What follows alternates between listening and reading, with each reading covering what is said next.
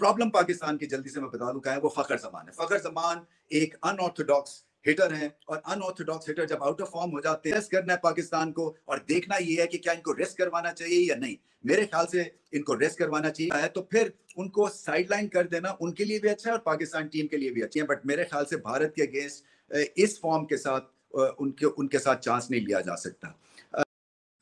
जी दोस्तों रमीज़ राजा ने जो कहा, आपने सुन लिया कि पाकिस्तान को एशिया कप में जब बड़ी टीम यानी इंडिया वगैरह से मुकाबला होगा, जो कि अगला मैच है, इसमें पाकिस्तान को ऐसी मुश्किल आ सकती हैं जिसके ज़िम्मेदार फ़खर जमान होंगे। क्योंकि पिछले आठ दस इनिंग्स में फ़खर जमान मुसलसल फेल हो रहे हैं और इनकी फॉर्म पर सवालिया निशान लग चुका है। रमीज़ राजा का कहना है कि फ़खर जमान अगर भारत के ख़िलाफ़ भी फेल हो गए तो नीचे वाले बैट्समैन पर प्रेशर बढ़ जाता है और और तब बड़े मैच में इनको रेस्ट देने की ज़रूरत है ताकि जहाँ पर फ़खर जमान गलती कर रहे हैं, वो अपनी गलती ठीक कर लें और आराम की भी ज़रूरत है। इसके बरअक्स किसी और खिलाड़ी यानी ओपनर को मौका देना चाहिए। अब ओपनर में अब्दुल्ला शफीक पाकिस्तान के पास मौजूद है, लेकिन खबरों के मुताबिक ये हवा भी चल रही है कि शर्जील खान खूब मेहनत भी कर रहे हैं और डोमेस्टिक क्रिकेट में ताबड़तोड़ बैटिंग के भी जलवे दिखा रहे हैं।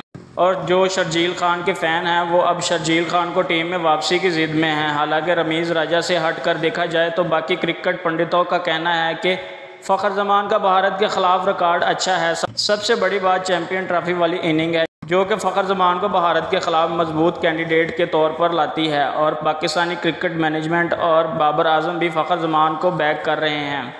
फ़खर जमान हमारे मेन प्लेयर हैं और यही एक बात खिलाड़ी को ज़ीरो से हीरो बना देती है। और देखा जाए तो फ़खर जमान में ख़ुद सलाहियत है कि जिस दिन इसके बल्ले का वार चलता है तो तमाम के तमाम टोटके धरे के धरे रह जाते हैं। और रही बात रमीज़ राजा की तो पिछले टी ट्वेंटी वर्ल्ड कप में मिडल ऑर्डर लगातार फ्लॉप हो रहा था ले, लेकिन उन्होंने फिर भी इस मिडल ऑर्डर को लगातार मौके दिए। अब क्यों एक दो मैच के बाद ही इनकी प्रडिक्शन आ जाती है?